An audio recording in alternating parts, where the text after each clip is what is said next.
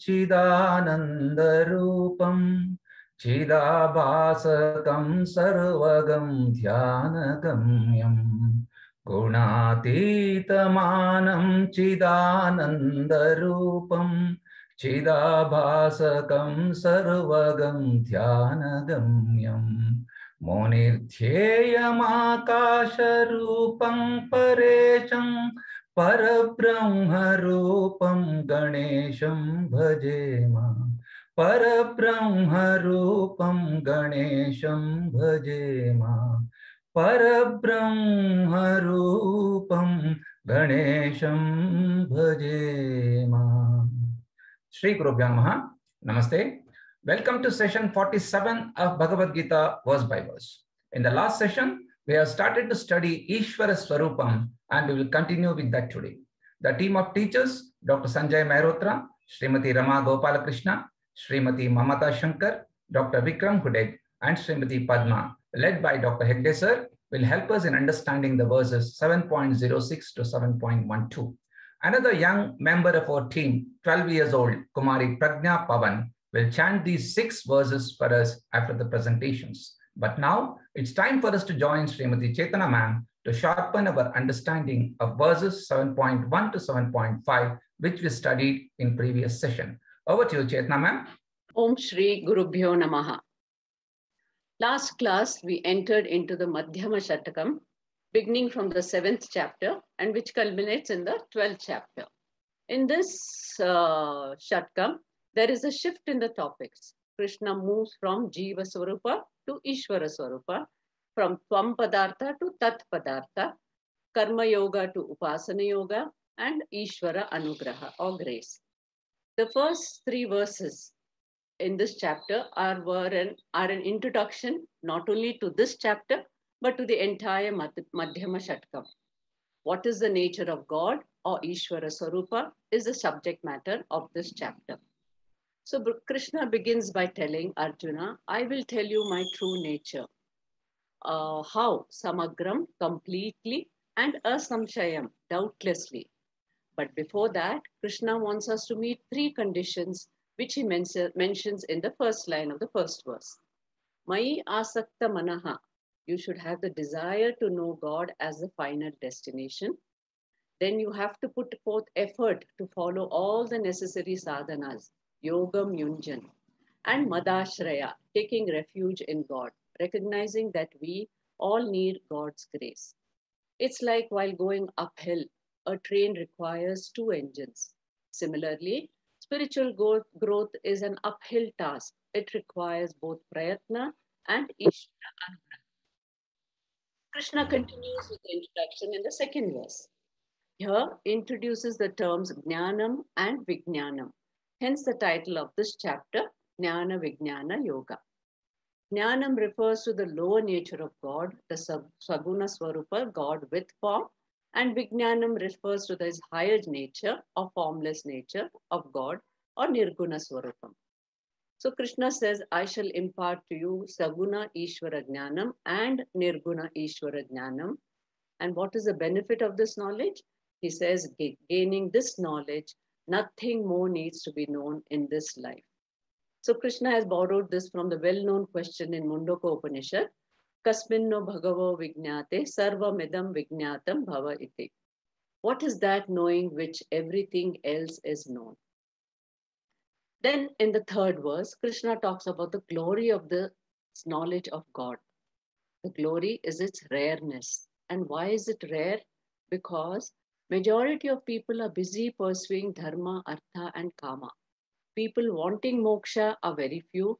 Among them, those who want Ishvara Jnanam is still less, and those who are interested do not know how to go about it.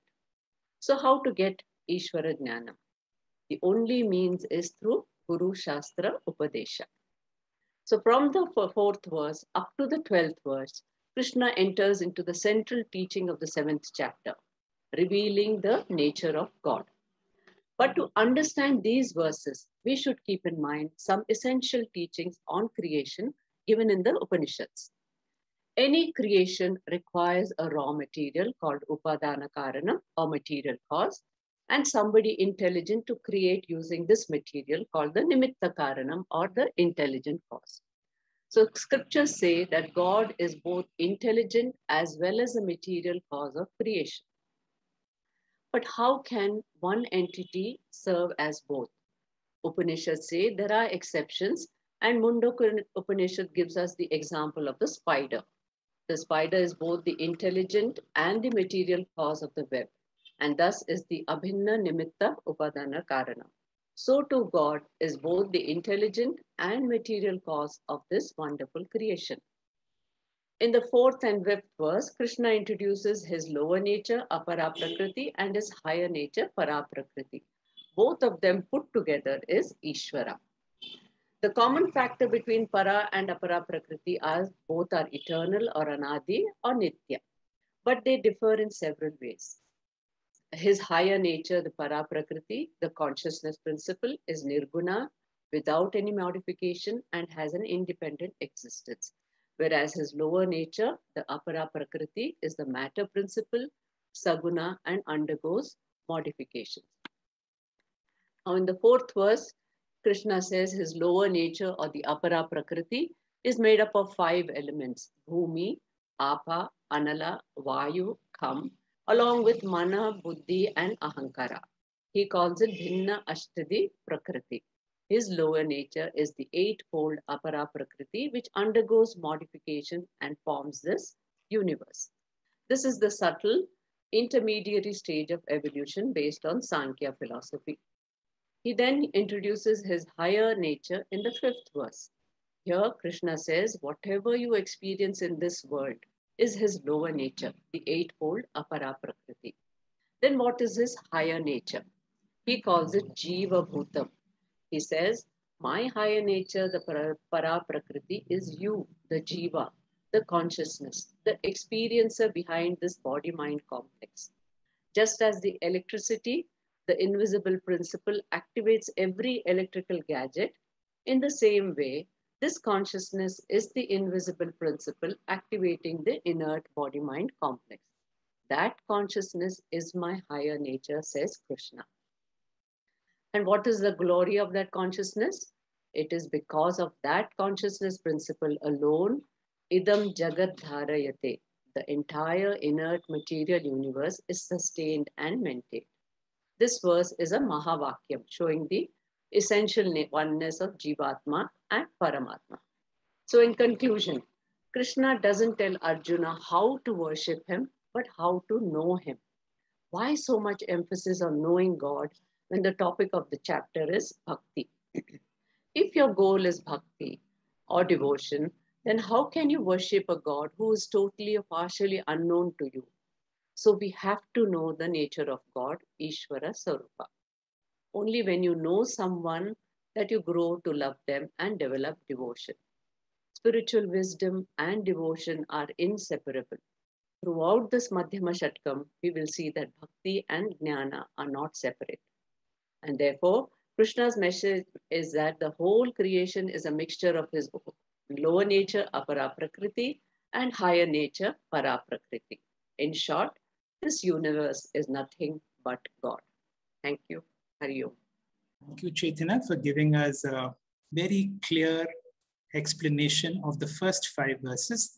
And it is through these wonderful five verses that Krishna has offered us to know his true nature.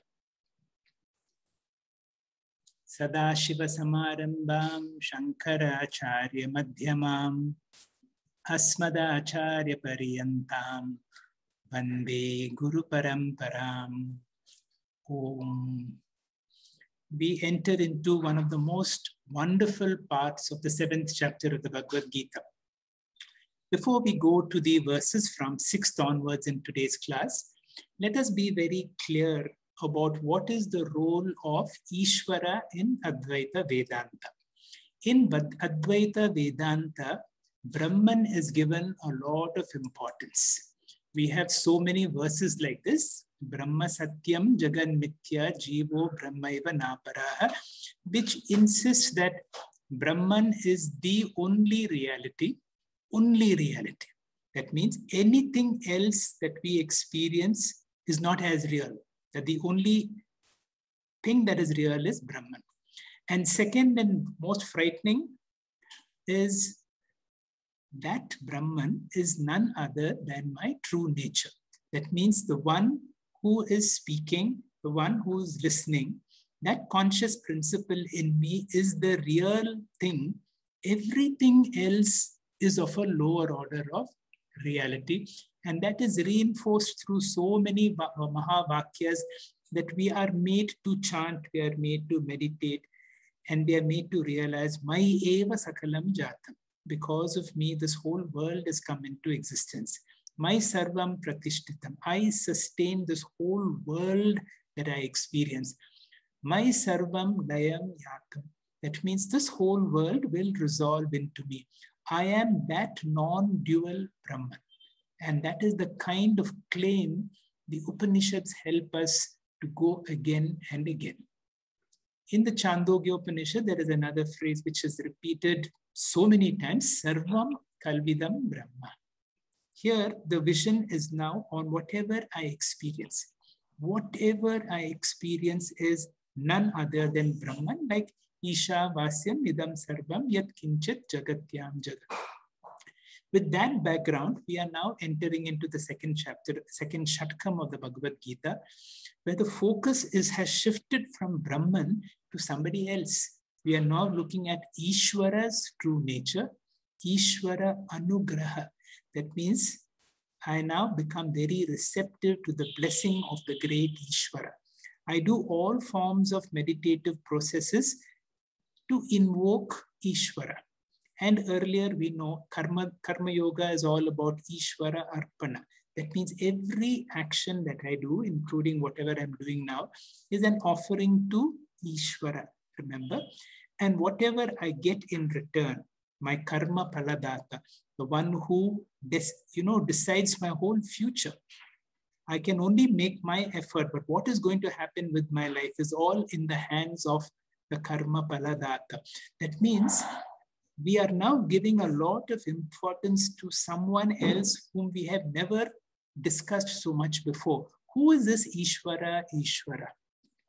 Now, are, is Brahman and Ishvara identical? Sometimes this doubt comes, and very often uh, Brahman is very loosely referred to as Ishvara.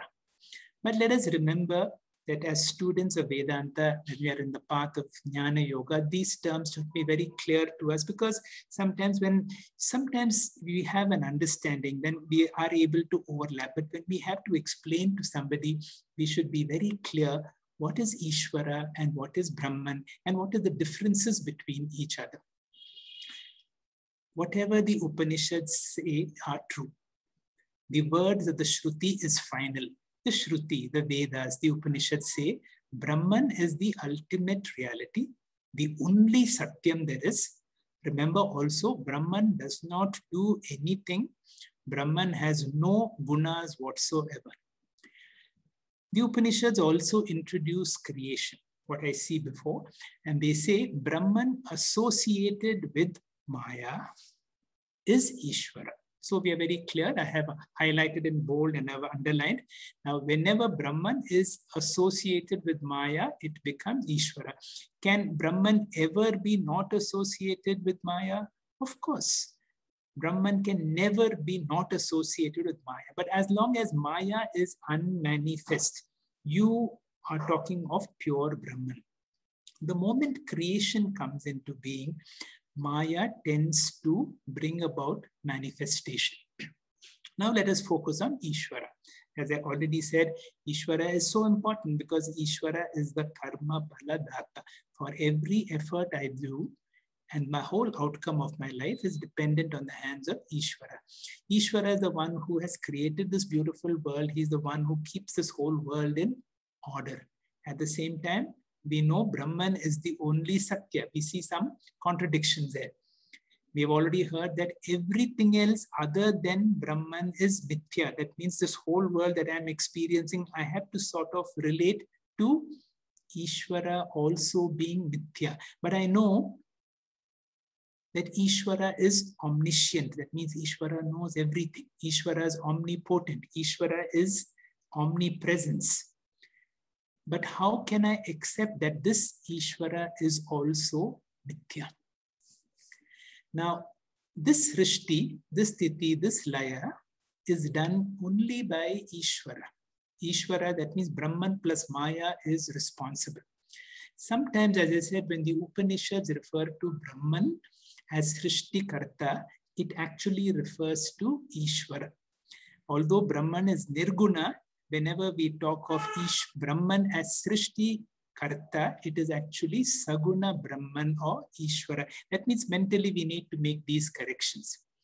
Remember also these things that Maya can never exercise control on Ishvara. Ishvara always has Maya under his or her control. That is why Ishvara is also called Parama Atma.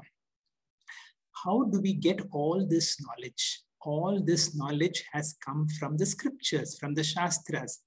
Does the Shastras come from Brahman? Brahman cannot do anything. So Brahman cannot reveal anything. All these Shastras have come out of Ishvara. Now, how do we resolve all this? I will give you a wonderful answer when anybody asks you a trick questions in Vedanta. Whenever anybody asks you about, you know, uh, such questions, ask, ask them, are you talking from a Vyavaharika level or are you talking from a Paramarthika level? What is Vyavaharika level? Then I wake up, when my mind begins to function, when I have when I can experience all these objects which look very real to me, this is called a certain amount of reality called Vyavaharika Satya. All of us have dreams also, and in dreams, our dream world is very real.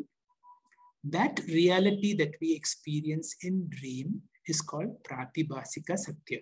When the dream gets over and when I wake up into this Vyavahara, I realize that I was the creator of the dream, I was the sustainer of the dream, and the dream has resolved into me. And whatever has happened in the dream cannot affect me.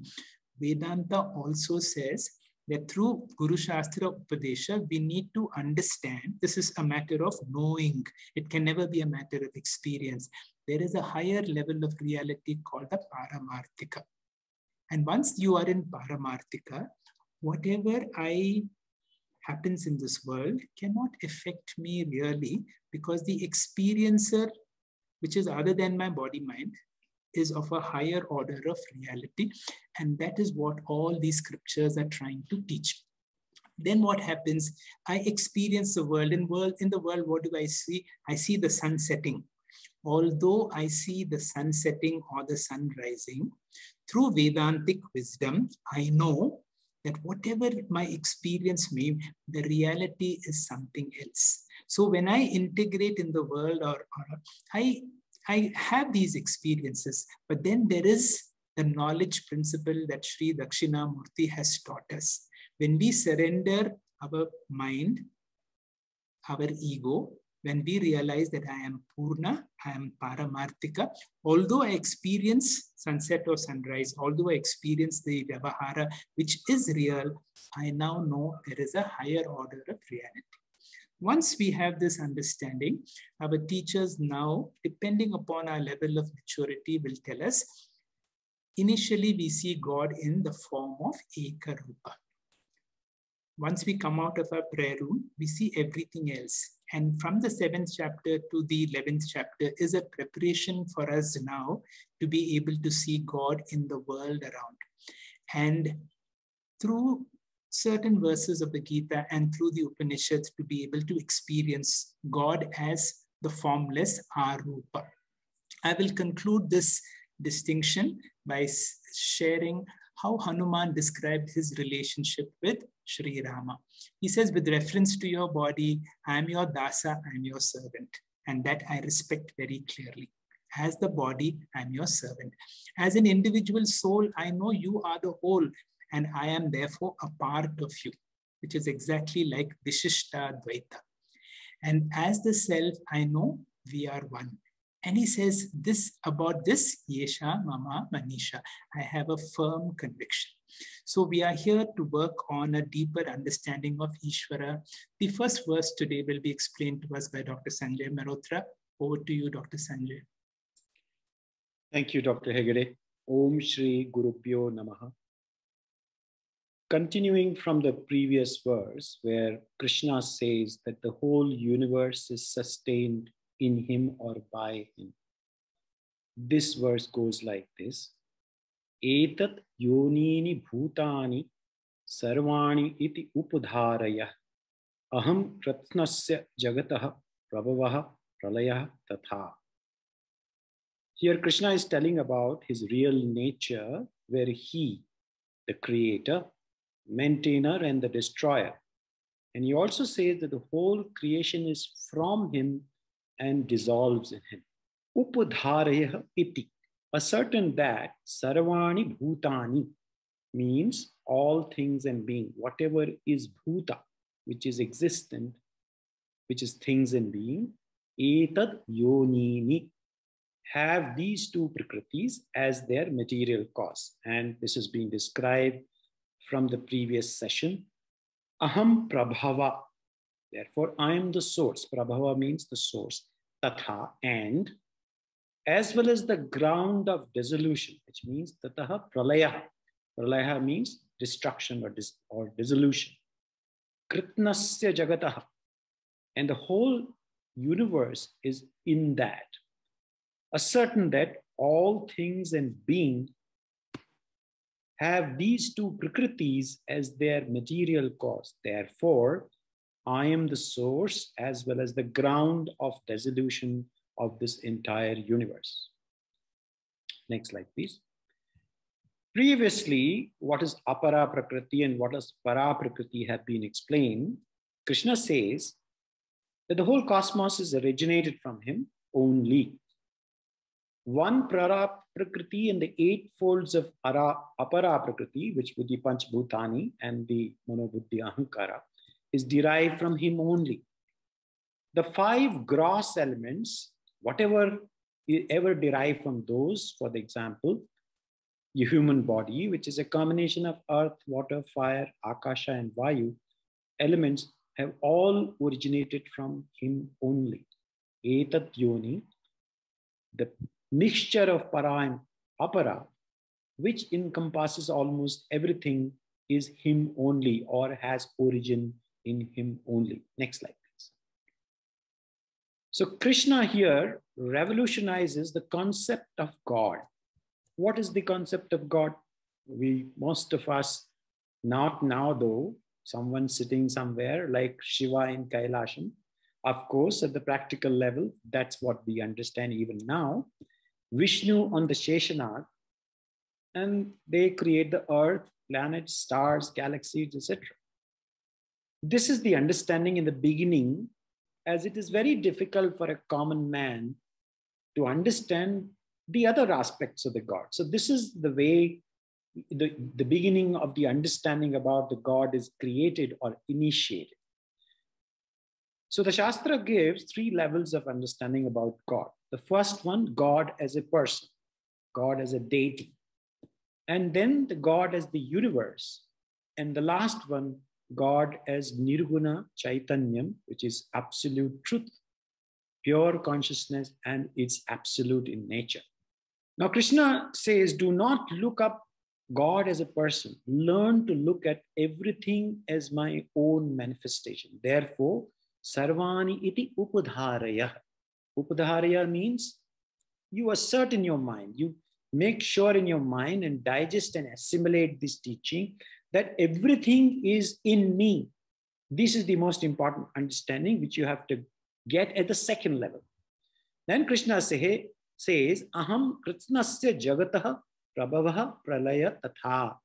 I am the source, Utpatti Sthanam, Prabhava or origin of the entire universe.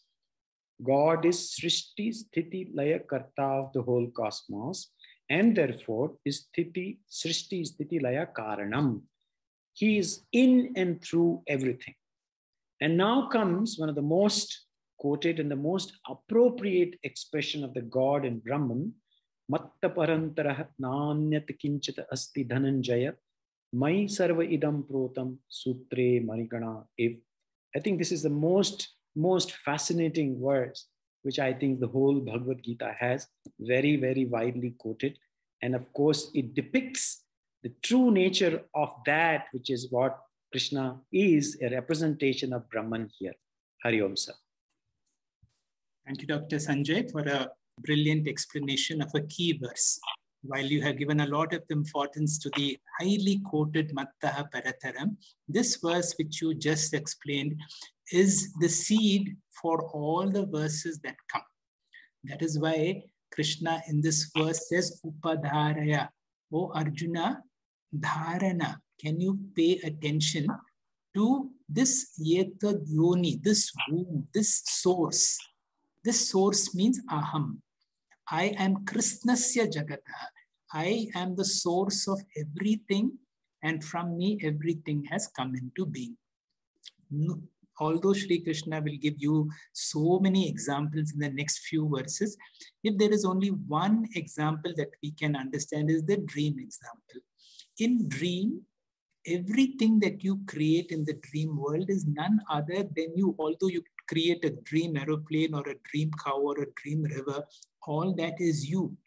So too, we need to see this whole world is none other than the Sri Krishna principle in different ways and forms.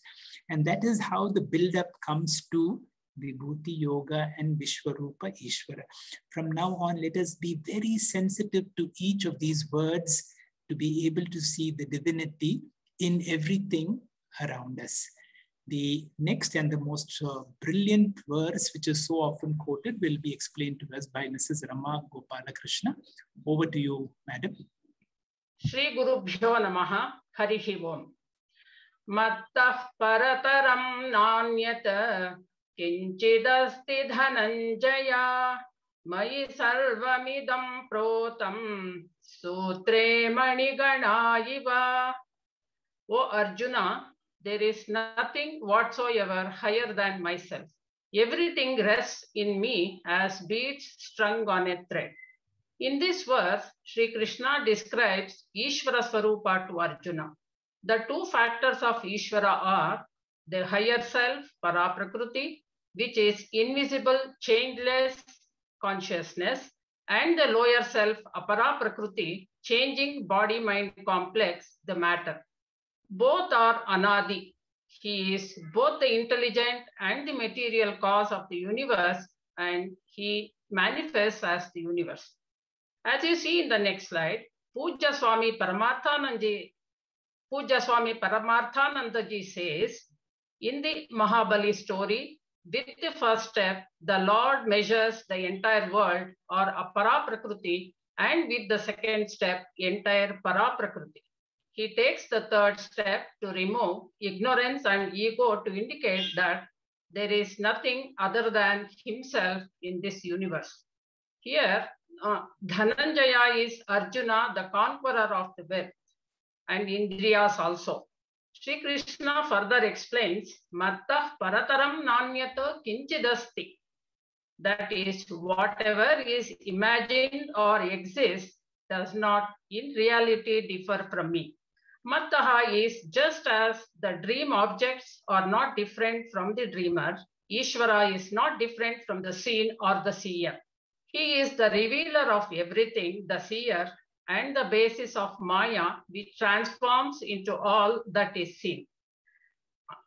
Parataram is as compared with me, kinchit anyat nasti. Whatsoever, no cause or effect exists beyond me. Later, he introduces Adhyaropa Apavada Prakriya. He says, the world as Karyam is superimposed on me, the Karanam. You can see this in the next slide. The ornament is non-substantial and gold alone is.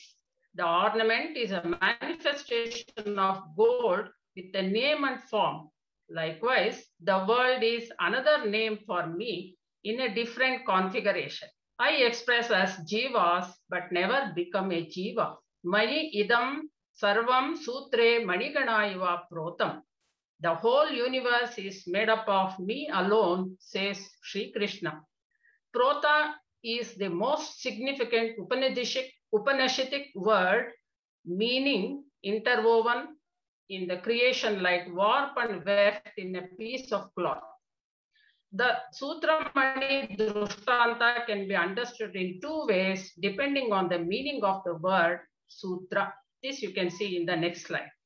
With reference to Parabrahman, the whole creation is like clusters of beads and Parabrahman is like the invisible inherent thread keeping the mala of the world together as a beautiful garland. It is inherent in the creation as Sarvantaryami. Like the string pervades the entire mala, the aggregate of all experiences and effects at the samasti level are strung on the indwelling consciousness in everything. Secondly, with reference to the Sutratma, the creator Brahmaji, the aggregate of all experiences and effects at the Vyasti level or the beads. For example, in dream, they are strung on Hiranyagarbha in the form of Taijasa, who is the seer of dreams. Considering each of our life as a bead, many past and future lives are beads that contribute to a garland. The thread passing through all these beads is Sutratma that gains many bodies on the path of moksha. This verse conveys the message of the Mahavakyam, Sarvam Khalvidam Brahma.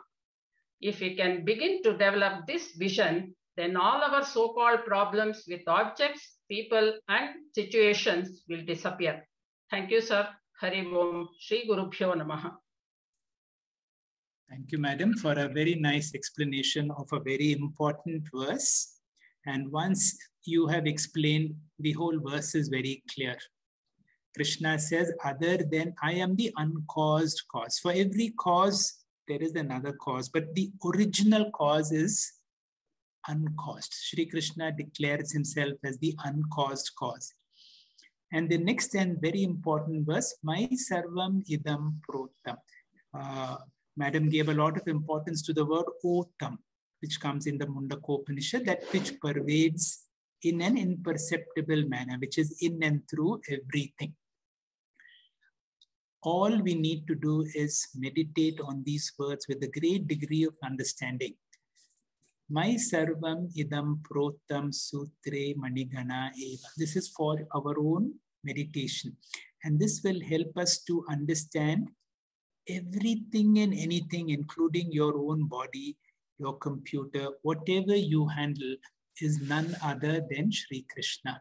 Then what happens? You develop a tremendous amount of reverence. When you study these words, you go into a different plane of understanding altogether. You need to be able to experience a shift from God as a person to godliness. How do you get this big view?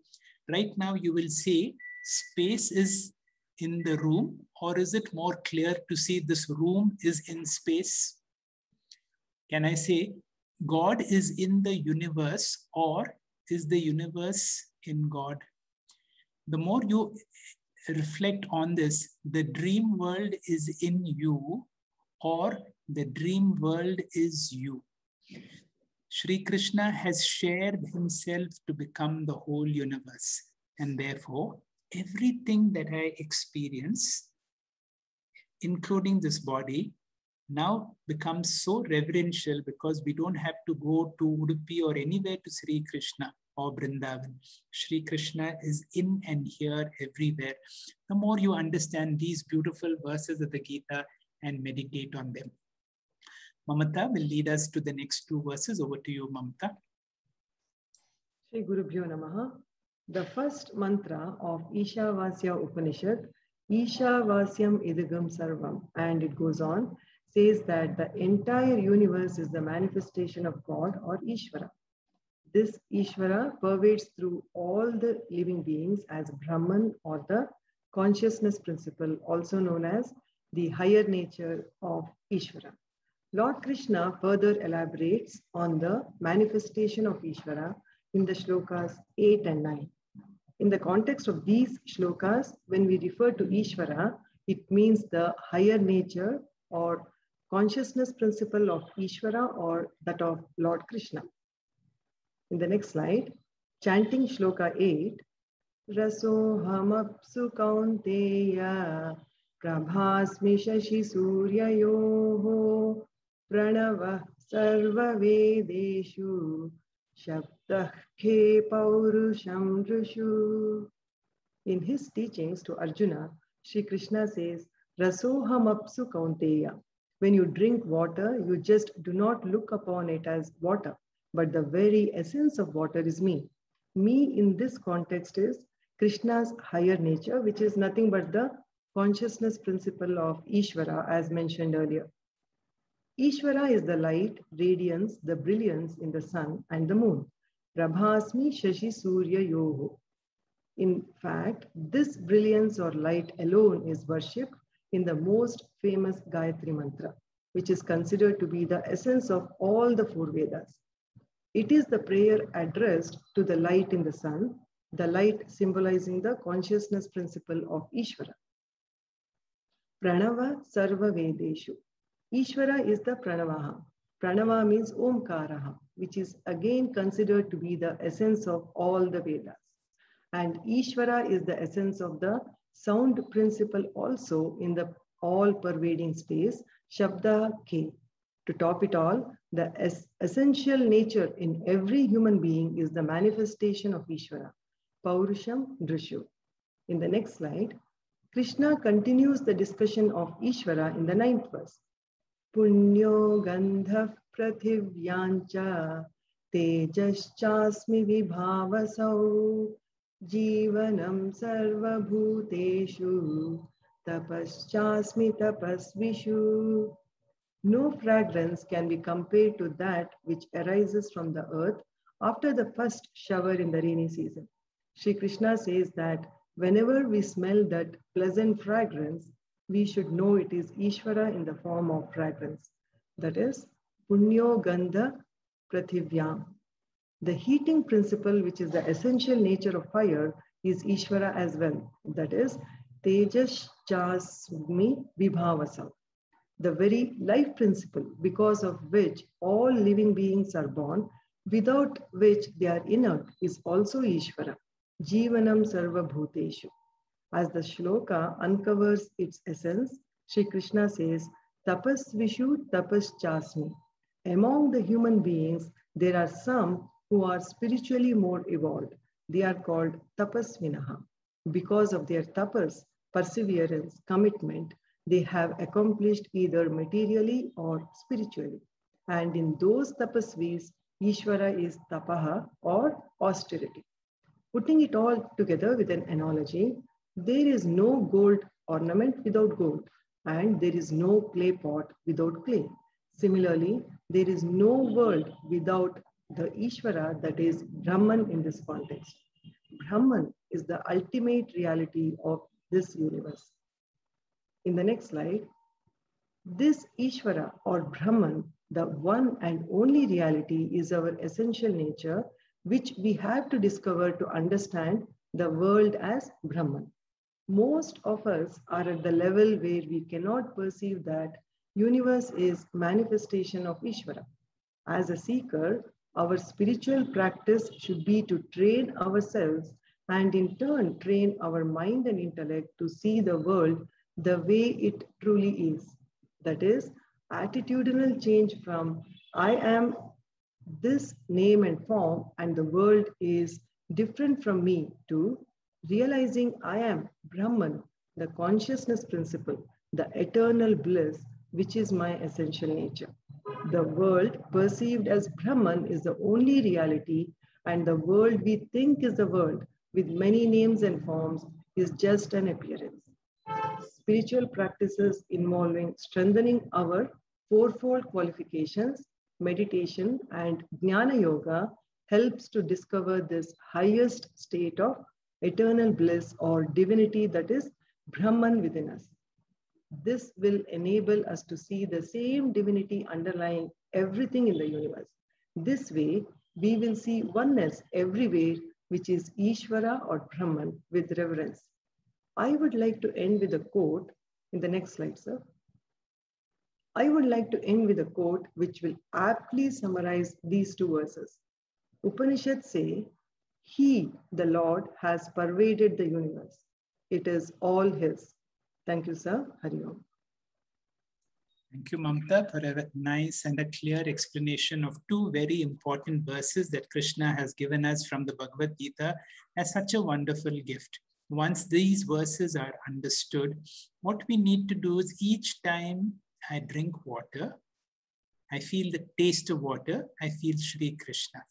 Wherever I see light, maybe of the sun or the moon or the light in my room, it is none other than the Sri Krishna principle. It may be traffic noise, it may be a dog barking, but any shabda that you hear, whenever you hear a sound, the sound is there, but you hear it here. Can we move from the sound to the silence? Pranava, the Omkara, which is the essence and very nicely explained by Mamata.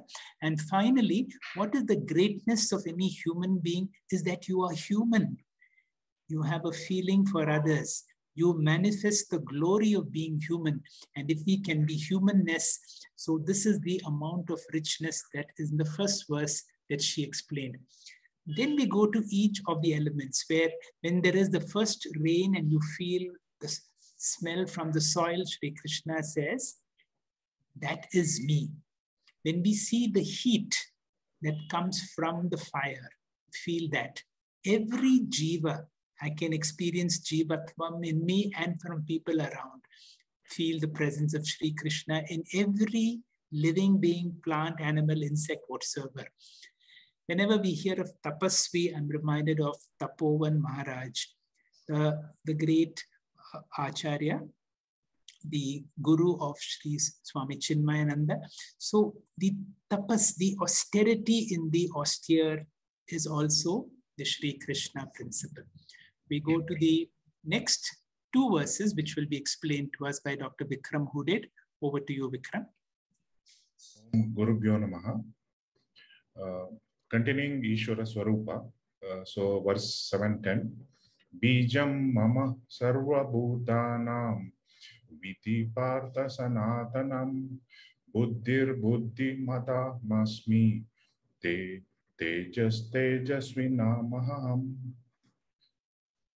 So uh, going to the second line, buddhir buddhis must masmi. I am very intelligence principle behind the intelligent people there are some people who are extraordinarily intelligent and their glory is because of their intelligence.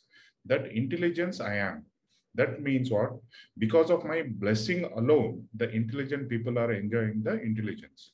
And similarly tejasvina tejasvinam asmi i am the boldness the valor in the valorous in the bold people. So boldness stands for the capacity because of which a person is able to overcome the obstacle that is called boldness.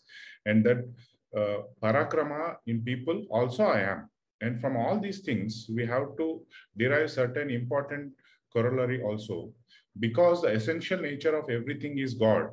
If we have got any of these virtues like boldness like intelligence like knowledge if any of these virtues is in me i should remember they really do not belong to me but they are the manifestations of god Therefore, the credit does not go to me, but it goes to the Lord alone. Therefore, the more I appreciate God, the more humble I will become.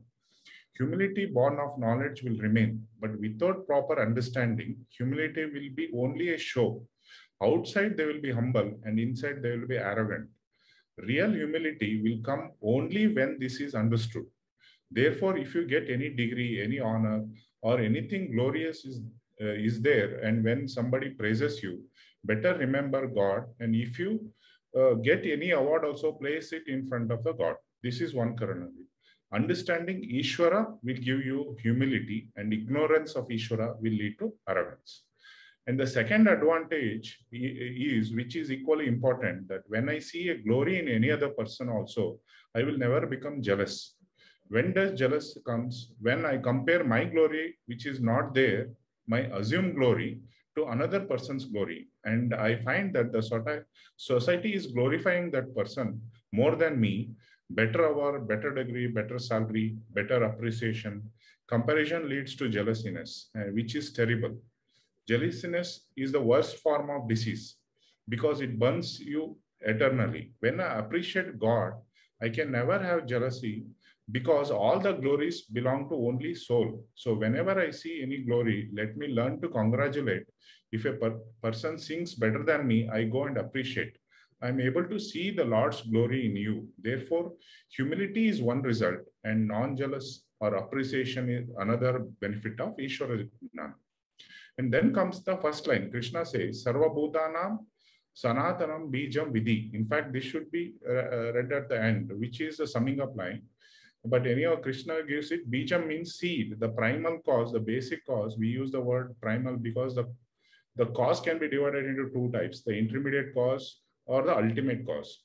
So our parents can be intermediate cause, but whereas causeless cause is uh, the God. So God is parentless parent, he is fatherless father. Uh, therefore, Krishna sees Sarva Bhutanam Bijam, which is Sanatanam, which does not have a beginning, Anadi Karanam. I am the causeless cause of the creation. Balam Balavatam Chaham Karma Kama Raga Vivarjitam Dharma Virodho Bhuteshu Kamosmi Bharata Rishba. Now the same idea is continued. Here Bharata Rishba is another title of Arjuna. Bharata means descendant of Bharata. Rishba means Shrestha. So Bharata Vamsha Shrestha or Arjuna, who is the greatest in your family. The idea is the student should feel fine. So psychologically, a happy mind absorbs. Therefore, a teacher uses this technique. You are wonderful. You are beautiful. Uh, uh, so encouraging the student. Uh, so uh, so in that way, Balavatam Aham Balam Asmi. I am the strong people. I am the very strength. But Krishna wants to divide the strength into two types. One is uh, constructive strength and the destructive strength. Constructive is uh, uh, where uh, uh, the, the strength which we see in Rama, all those things are constructive strength, and adharmic strength we see in Rakshasas. Uh, so Krishna says the strength which is not backed by selfish desire, Uh, uh, uh, that strength will become destructive because because to become great, I have to suppress and destroy others. So kama means desire, selfless desire. Raga means attachment. Therefore, a, a strength which is free from, uh, which is not polluted by kama and raga is the strength, which is the difference between kama and raga. Kama is desire with regard to an object which is not yet acquired by me. So when, uh, for example, watch is in the shop, I have not bought this watch. I have a desire for this watch. So aprapta vishaye kama. And the moment I buy the watch, there is no more problem of desire because it is already my watch. And therefore now kama is converted into ragaha, means attachment to this watch. Therefore, prapta vishaye ragaha. Before buying it is desire, after buying it is attachment. This kama and raga are the poison and that strength which is free from both of them is pure strength. And krishna says that pure strength i am. Not only that in second line he says hey, arjuna i am in the form of kamaha. So the desire also in the people who have desires i am in the form of kama also. In the people who with desires in the desire written people i am very desire. Now it is confusing. In the previous line krishna said i am the strength which is not polluted by desire that means in the previous line, desire was present as, as an impurity. And that is why he said strength must be free from impurity called desire. Now in the second line, Krishna says, I am the desire also.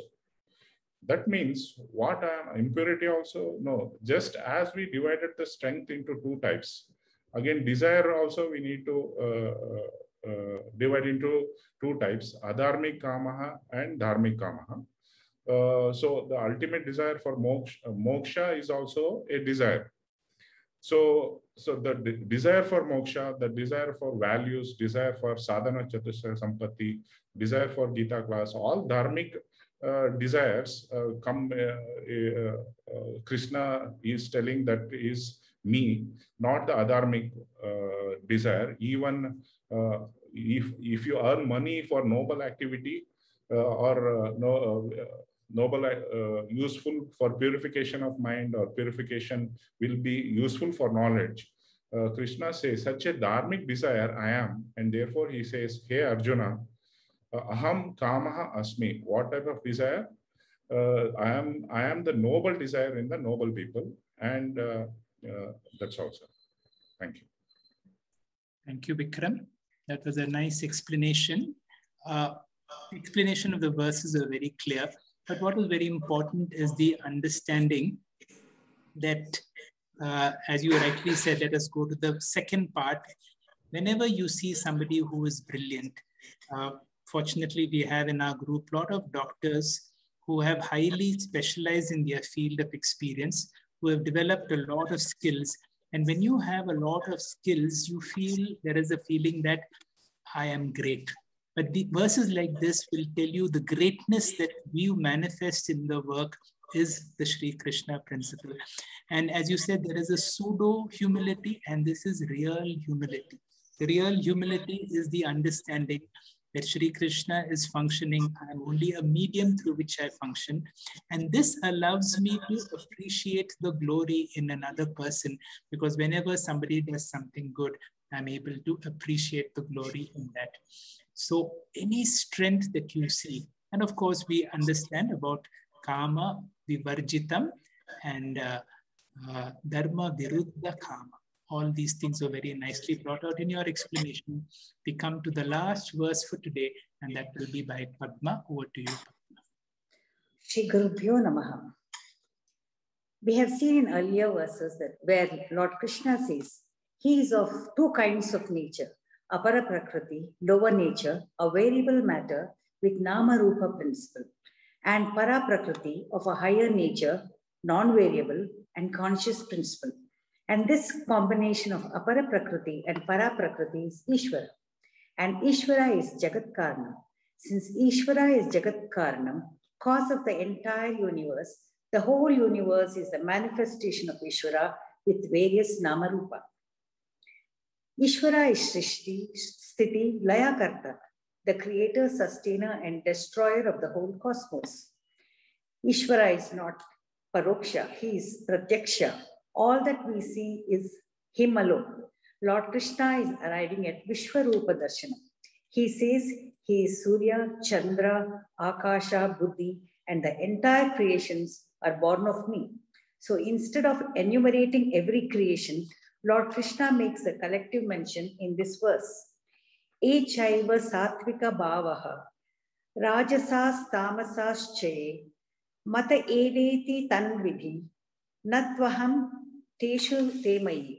Meaning, all the states of mind which are affected by sattva guna, rajoguna, and tamoguna, know all of them to be born of me alone.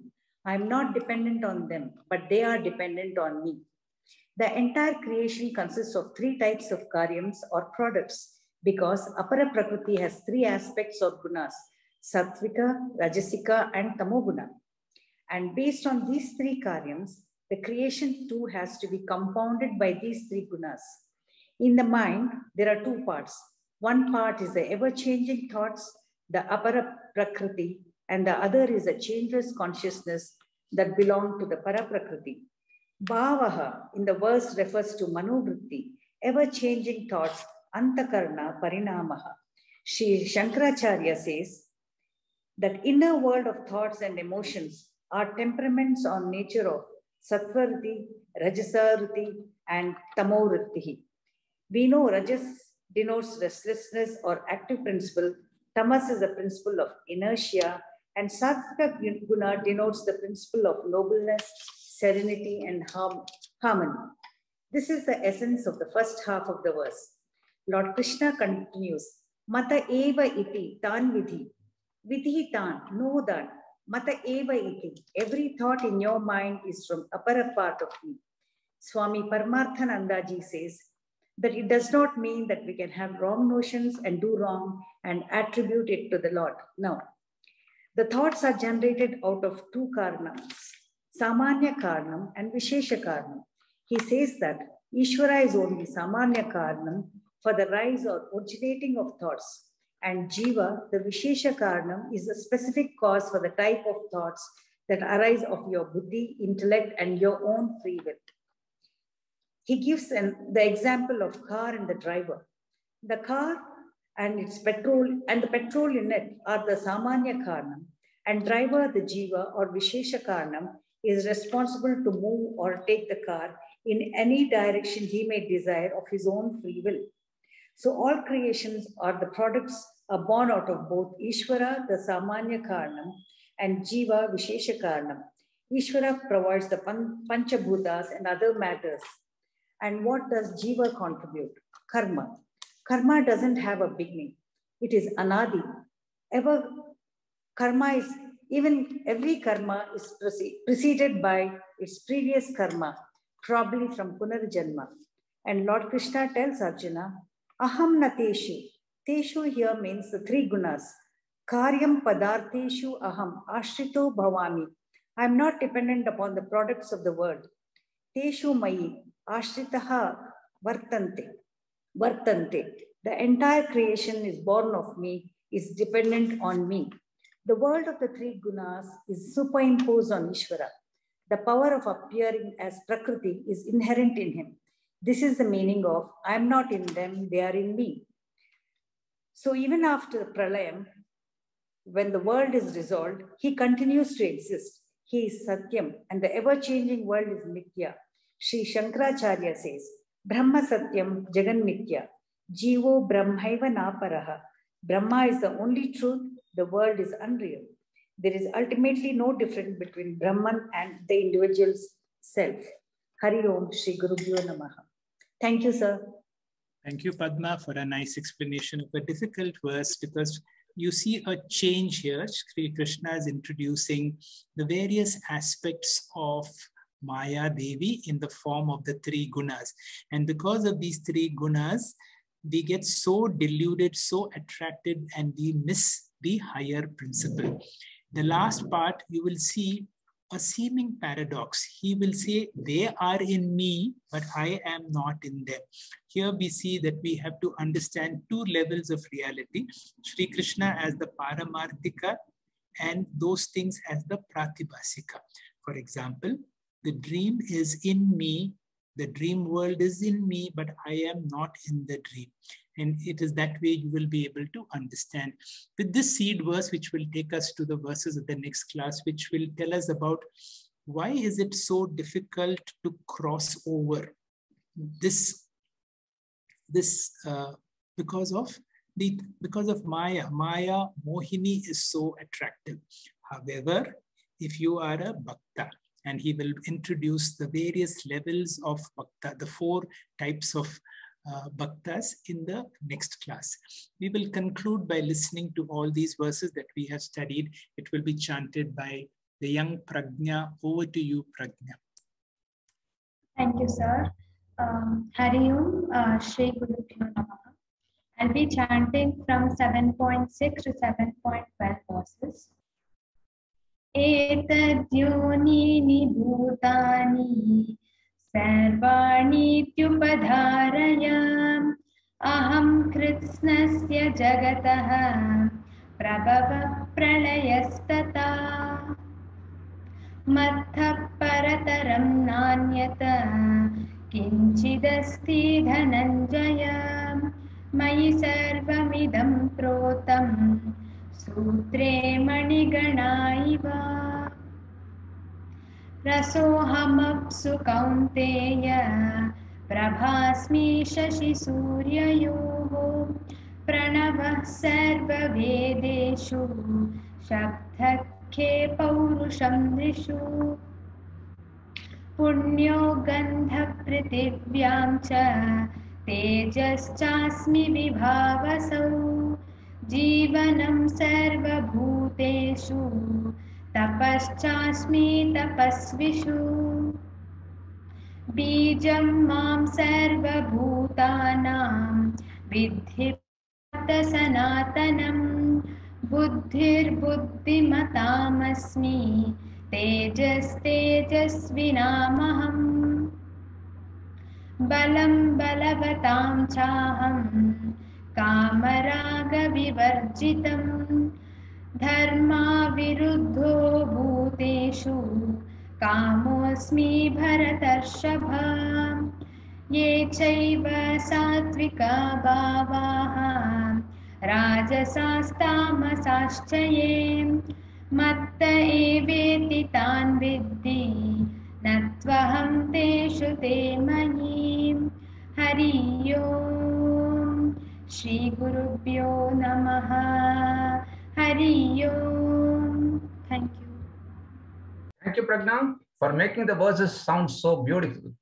Thank you, all speakers, for re emphasizing Upanishad Vakya, Sarvam Khalvidam Brahma. The take home message is God is not in this world, not the world is in God, but the whole world is God Himself. Pranams to our Kaivartaka, Dr. Hegde sir, for navigating us through the class comfortably. In our next session on Friday, we'll go to the next topic of discussion. As always, please log in by 6.45 p.m. on Friday evening. Until then, Jai Shri Krishna. Om Purnamada Purnamidam Purnat Purnamudachyate Purnasya Purnamadaya Purnamevavashishyate Om Shanti Shanti Shanti Hari Om